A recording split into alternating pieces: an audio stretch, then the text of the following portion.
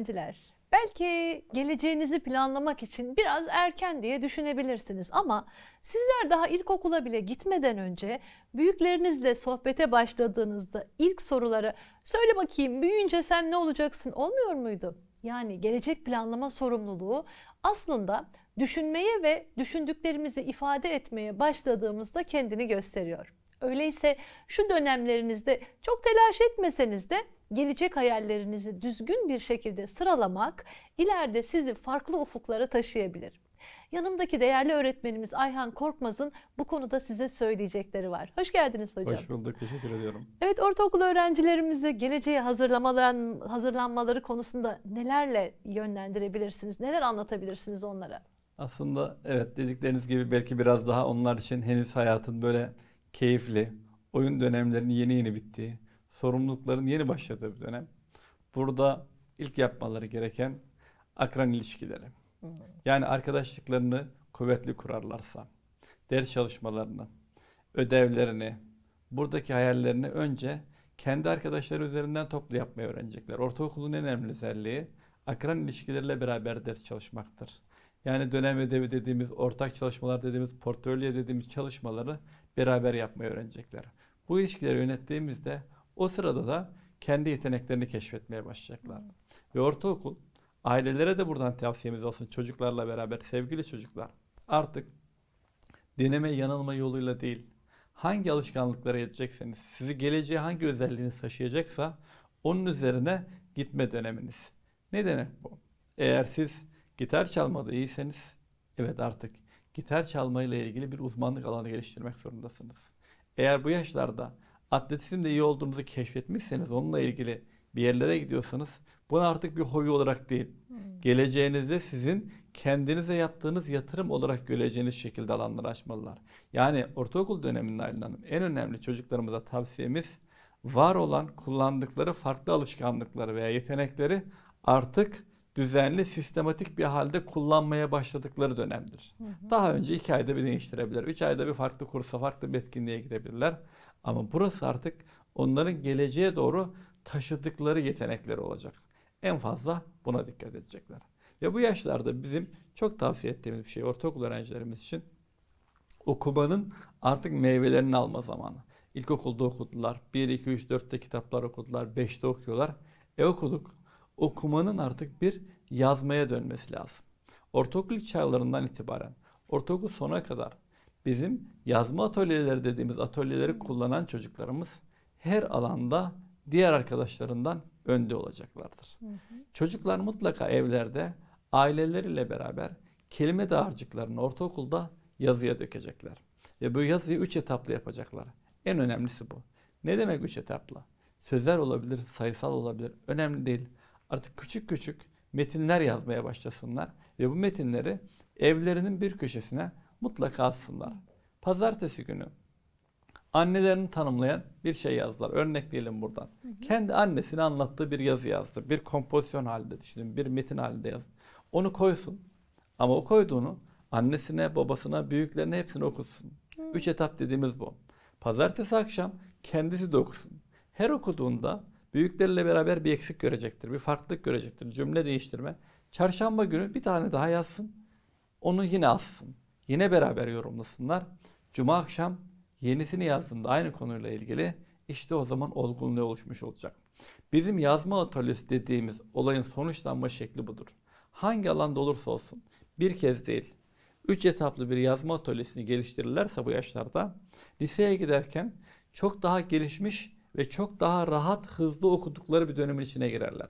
Bu yazma atölyeleri onların mutlaka daha hızlı olmalarını ve hızlı düşünmelerini getirecektir. Çünkü derinliği anlamaya başlarlar.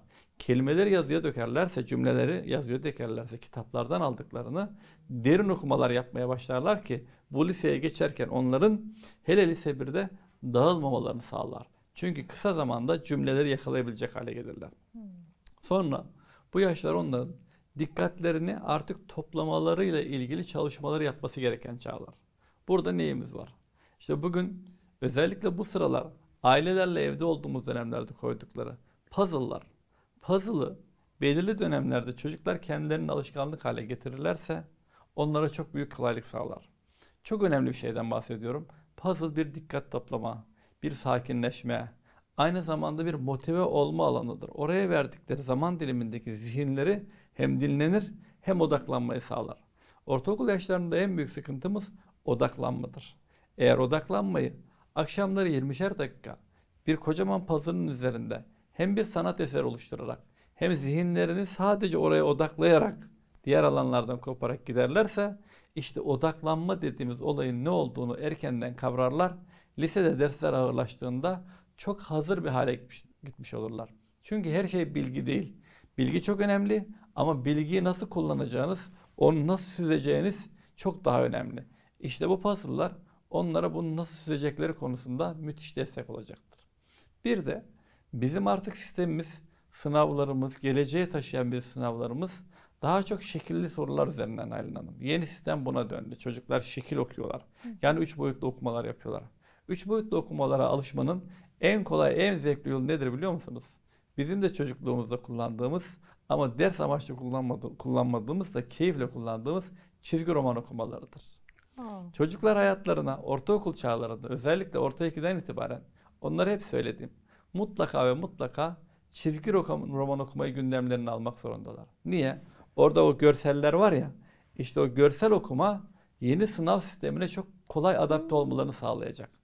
Zihinlerine yerleştirdikleri o resimlerin hayal gücünü geliştirmesi o uzun sorular, şekilli sorular geldiğinde ya biz buna yabancı değiliz. Evet ben bunun fotoğrafını hemen zihnime çekebiliyorum demeye getirir. Çünkü bir çizgi roman okuduklarında gece yatarken o romanla ilgili şekiller de akıllarına gelecek. Sizin de öyle olmuyor muydu? tabii ki. Okuyordunuz. İşte orada farklı farklı bizim zamanımızda çizgi romanları vardı. Ee, onlardaki üstteki o baloncuğun içindeki yazılar, resimler aklımızda kalıyordu değil mi? Tabii. İşte bizim yeni sınav sistemimiz, ortaokuldan liseye geçerkenki sınav sistemimiz çok fazla görsele dayalı. Dünyada sistem böyle ve üç boyutlu okumalar yapmaları gerekiyor. Üç boyutlu okumada en çok çizgi romanlarda var. Bunu mutlaka yapsınlar. Zamanlarını doğru ayırarak çizgi romanlar yapsınlar. Ve 8. sınıftan itibaren çocuklarımız sınavlara hazırlanırken 7 ve 8'de öğretmenlerle çalışma yöntemi şu olsun. İlla ki çok soru çözüyorlar artık bu yaşlarda soru çözüyorlar. Soruyu çözdüklerinde eğer bir soruyu yanlış yapmışlarsa Aylin Hanım, sorun cevabı A sonra B ise soruyu yine yanlış yaparlar. Böyle bir şekilde gidemezler. Yanlış yaptıkları soruları bir hata defterine yazacaklar ve o soruyu öğretmenlerle çözecekler. Başka türlü bu işin içinden çıkamazlar. Hata defteri yanlış yaptıkları soruları öğretmeniyle ertesi gün çözerlerse çocuklarımız konuları tam anlamış olur ve liseye doğru böyle giderler. Akran ilişkileri, çizgi roman, puzzle, hata defteri onların liseye çok daha sağlam, çok daha kuvvetli bir şekilde gitmelerini sağlayacak. Ama temelinde ne var? Yazmak var. Yazmak onların en büyük servetleri. Okuyan çocuk yazar, okuyan çocuk yazar, okuyan çocuk yazar. Artık yazmaya ortaokulda dönmek zorundalar. Bunu unutmasınlar. Çok önemli tavsiyelerde bulundunuz. Aslında genel sorulardan, genel cevaplardan ziyade onları somut bazı e, örneklerle çok güzel geleceğe yönlendirecek e, tavsiyeler bunlar. Özellikle yazmak konusu e, birçok öğrencinin sanıyorum biraz ihmal ettiği bir konu. Daha çok okuyarak nasılsa anlarım algısı var çocuklarımızda. E, ama bunu bir şekilde kaleme dökmenin e, perçinlediğini söylüyorsunuz anladığım Tabii kadarıyla. ki bu arada bir örnekleme de yapalım. Son iki yıldan beri TÜYAP'ta en çok satan romanlardan iki tanesi 14 yaşındaki öğrencimizin Aa, yazdığı kitaplar. Nasıl Yani güzel bir Tabii bu durum. çok büyük bir mutluluk. Hepsi bunu yapabilirler ve artık sosyal ortamda da, dijital ortamda da yayın evleri çocukların kitaplarını alıyor, yayınlıyor. Çok da geniş imkanları var. Lütfen yazmanın keyfine varsınlar. Her şeyin ötesinde sosyal medyayla kendi yayın organlarını bile oluşturabilirler Tabii tabii mi hocam? oluşturabilirler. Bunları da mutlaka yapsınlar. Çok teşekkür ediyoruz. Çok güzel bilgiler verdiniz bize. Gelecekleri güzel olsun inşallah. İnşallah. Amin. Sevgili öğrenciler bir tane defter alıyoruz. Ayhan öğretmenimizin dediği gibi hata defteri. Yazmaya başlıyoruz. Belki yazılar oradan çok güzelleşiyor başka mecralara değil mi Kesinlikle. sevgili hocam? O zaman ödeviniz burada belli. Hadi size kolay gelsin. Görüşmek üzere.